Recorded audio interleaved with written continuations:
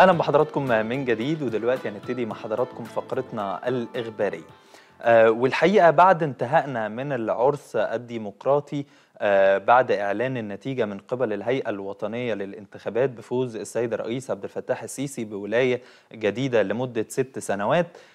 الحقيقة المشهد كان رائع.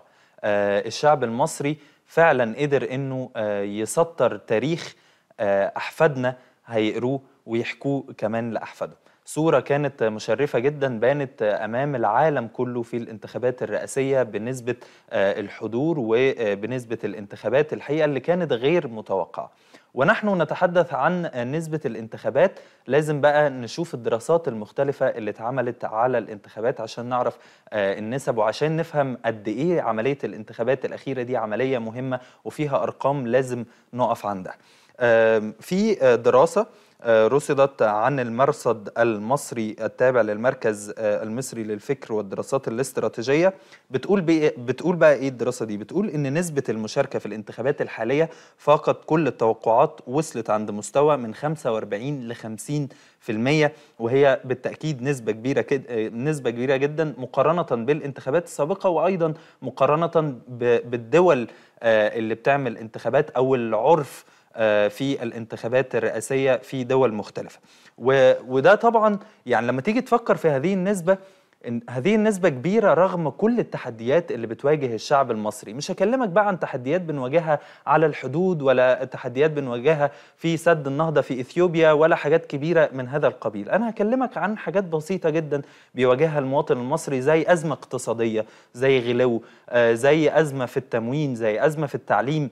أزمات كتير وتحديات كتير بيواجهها المواطن المصري برغم كل هذه التحديات وبرغم كل هذه الأزمات إلا أنه كان حريص جدا على المشاركة والتواجد في اللجان آه، بهذه النسب وبهذه الصورة المشرفة. بالتأكيد محتاجين آه، نفهم بقى أو نجاوب على سؤال مهم. هو إيه اللي خلى الشعب المصري ينزل في هذه الانتخابات ويكون آه، بهذه الأعداد الكثيفة جدا أمام اللجان؟ ده سؤال مهم جدا محتاجين نعرف إجابته. من ضيفنا اللي هيكون معانا على الهاتف حاليا دكتور طارق فهمي أستاذ العلوم السياسية بجامعة القاهرة. يا دكتور برحب بحضرتك وصباح الخير. صباح الخير على حضرتك. اتفضل. أهلا بحضرتك يا فندم. إيه سبب آه، المشهد اللي كان موجود أمام اللجان والاصطفاف الكبير جدا للمواطنين المصريين في الانتخابات الرئاسية يا فندم؟ هو طبعا كان هناك توقع بطبيعة الحال. يعني نحن كاساتذه علوم سياسية لم نفاجئ بهذا المشهد. يعني برغم كل ما جرى. من تأكيد بنسب المشاركة المختلفه لكن بطبيعة الحال الدراسات والبحوث الأكاديمية بتشير إلى نسبة المشاركة بتبقى دائما في دوائر الأربعينات يعني بتتكلم في من 35 إلى 40 بيبقى رقم كبير جدا. نسب المشاركة التي صعدت بهذه الصورة آه، بتؤكد أمرين، الأمر الأول أن المواطن المصري دائما ما يضع الدولة المصرية أمامه، وبالتالي الدراسة اللي حضرتك أشرت واتكرمت بيها تعرضت لهذا الأمر، ظاهرة التصويت والإقبال على التصويت للدولة المصرية وللمشروع الوطني المصري اللي تم طوال السنوات الماضية، فالتصويت كان للاستقرار السياسي، الاستقرار الأمني، الخوف على الدولة، الخوف على حدود الدولة الوطنية، كثير من الأمور طبعا التحديات والمخاطر بتواجه الدولة. لكن بطبيعة الحال الاهتمام بالقضايا الداخلية هو المعيار لأي انتخابات. يعني المواطن في اي دولة في العالم بما فيها مصر بينزل ينتخب في القضايا المرتبطة بنمط حياته، أنماط التصويت للمصريين ولأي دولة أخرى من دول العالم. يبقى التصويت للقضايا الداخلية يعني كلفه المعيشة الحياة الاقتصادية الحياة السياسية تبقى طبعا بطبيعه الحال في مرتبة أخرى لكن توفير الخدمات للمواطن السلع الخدمات ال- وبالتالي التصويت في هذه المرة جاء مخالفا ولهذا صعد إلى نسبه الستينات وده رقم كبير جدا هيضع طبعا المسؤولين الذين سيأتون بعد إجراء هذه الانتخابات وأي تغييرات سياسية قادمة. طبعا كما تعلم هو ليس شرطا بمقتضى نص الدستور أن تغير الحكومة. لكن المحافظين بطبيعة. الحال بي لابد إن هم بيتم تغييرهم أو إعادة تكليفهم مرة أخرى. بالتالي أنماط التصويت دكتور جاءت طارق، مهمة في هذا السياق دكتور طارق صباح بطبيعة الخير الحال على طبيعة العملية آه. السياسية تقريبا ودورها في هذا سامعني. الإطار وأعتقد إن المواطن المصري صوت للمستقبل وصوت لحجم الإنجازات الكبيرة اللي شهدتها مصر طوال السنوات الماضية وبالتالي السياسات العامة القادمة هتبقى مرتبطة بقضايا داخلية وقضايا خارجية. طيب دكتور طارق صباح الخير حضرتك سامعني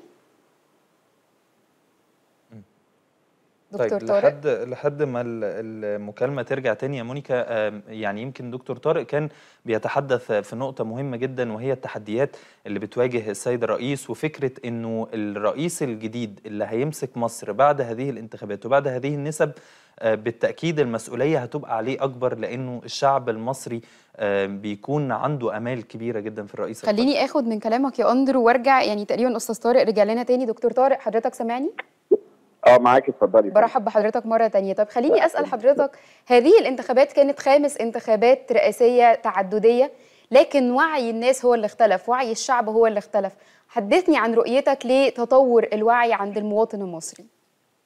هو الوعي كما أشرت حضرتك الوعي مرتبط بشعور المواطن وإدراكه إن ثمه خطر بيواجه الدولة المصرية. هذا الخطر ليس فقط موضوع سيناء وفلسطين وغزة لكن هو مرتبط بضرورة الاستمرار في إدارة المشهد، المصريين شعروا بقيمة عنصر الأمن وعنصر السياسة بمعنى إنه لم يحدث انقطاع في المشهد السياسي بصورة أو بأخرى. وبالتالي أعتقد إنه ما تم هو كما أشرت هو التصويت للمستقبل، المصريين بيأجلوا متطلباتهم، المتطلبات دي مرتبطة بالخدمات مرتبطة ب تخفيض تكلفة أو كلفه حياة المعيشة للمواطن المصري وتوفر السلع والخدمات وغيره. هذا الأمر سيضع زي ما قلت لحضرتك عبء على التغيير القادم بمعنى إنه قضية غزة قضية مهمة وحدود الدولة الوطنية قضية مهمة لكن صحيح. حياة المواطن أيضا مهمة وتوفير الخدمات ليه والسلع الاستراتيجية أيضا مهم. التصويت أو نمط اتجاه التصويت أنماط التصويت ارتبطت ب الرهانات على على المواطن المصري. المواطن المصري البسيط اللي هو وقف قدام المقرات ينتخب دون حشد. وطبعا لعب الإعلام دور كبير مهم جدا وهو دور مشرف في هذا الإطار في حشد هذه الأمور. طبعا الأحزاب لعبت دور لكن الأساس كان المواطن المصري البسيط اللي هو أدرك أن حدود الدولة الوطنية المصرية معرضة للخطر وبالتالي تتطلب الاستمرار في إدارة المشهد وأن يستمر الرئيس عبد الفتاح السيسي برؤيته ومقاربته السياسية والاستراتيجية لنفس التوقيت وهو يشعر بطبيعة الحال بتوافر عنصر الأمن والاستقرار السياسي وغيره. هيبقى طبعا مرتبط بالفترة القادمة بضرورة تفعيل دور المؤسسات الوطنية يعني دور فعال لمجلس النواب مجلس الشيوخ الحكومة القادمة دي أمور مهمة جدا صحيح. ستكون على رأس الأولويات في الفترة المقبلة. طب يا دكتور يعني الحقيقة السيد الرئيس بمشاركة الشعب المصري بدأ مسيره تنميه وبناء من عشر سنوات ولسه الحقيقة هذه المسيرة مكملة في مختلف القطاعات.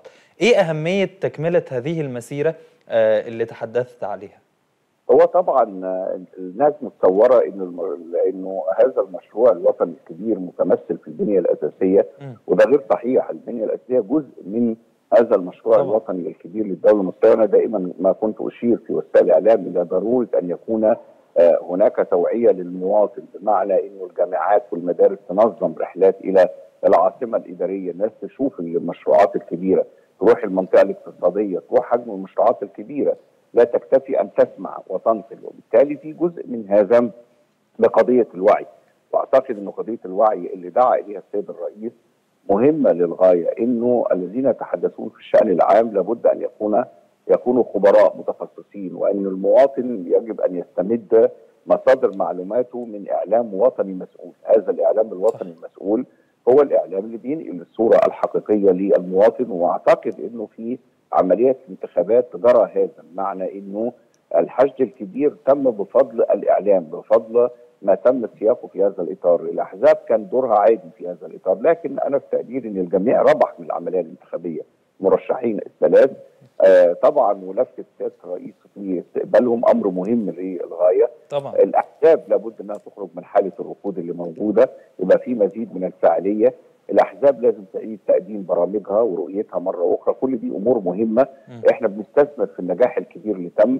وما تنساش حضرتك إن هذا تم أيضا بفضل الحوار الوطني اللي دعا اليه الرئيس السيسي. وطبعا هذا الحوار الوطني استمر سنة كاملة استمعنا وأنصتنا في أوراق سياسات وأوراق عمل كبيرة. وكان مهم جدا حضرتك إن الناس آه، تناقش تطرح رؤية تقدم تصورات. ده كله لنستثمره في هذا التوقيت الجميع ربح من إدارة العملية الانتخابية مصريين. يعني هم مش كملوا بقى هذا لأن إحنا عندنا لسه انتخابات محليات قادمة تحتاج إلى آه، دعم الأحزاب تحتاج إلى رؤيتها وبعدين هيبقى الانتخابات البرلمانية. ففي دور كبير للدولة آه، المصرية في استكمال ما تم وأنا أعتقد إنه هذا المشروع الوطني الكبير اللي بيقوده الرئيس السيسي مهم إن يتم استكماله بصورة كبيرة.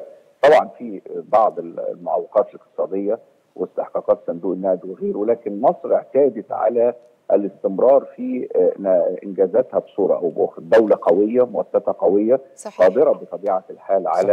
القيام بهذا الدور في هذا التوقيت. دكتور طارق فهمي أستاذ العلوم السياسية بجامعة القاهرة بنشكر حضرتك جدا على هذه المداخلة ويمكن آه، أهم ما قاله آه، دكتور طارق هي فكرة الوعي المواطن المصري آم، أصبح عنده وعي بكل مشاكله أصبح عنده وعي بكل الملفات اللي بتخصه.